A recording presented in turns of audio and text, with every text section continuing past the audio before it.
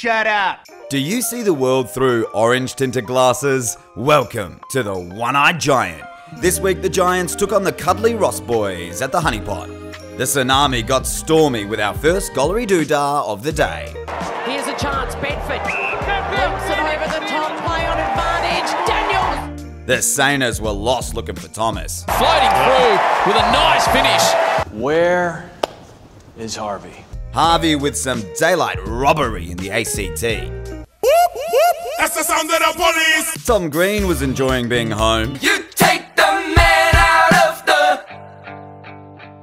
And when I'm back in Chicago, I feel it.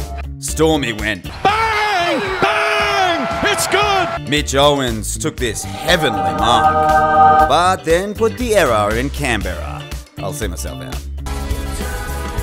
Laugh out loud. Oh, when's you miss these?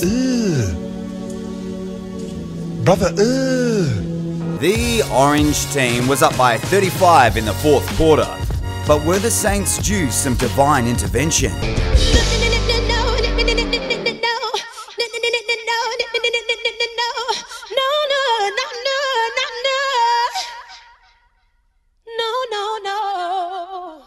All of a sudden, we were up by just one point.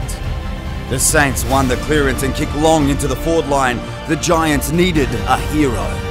James Peatling. James isn't a Peatling anymore. He's a full grown Pete. Am I a hero?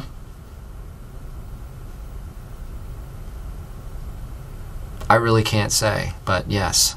The Giants and Harvey Thomas are five wins from five. Next week, we take on the Brown Paper Blues. This is the One Eyed Giant. Never surrender.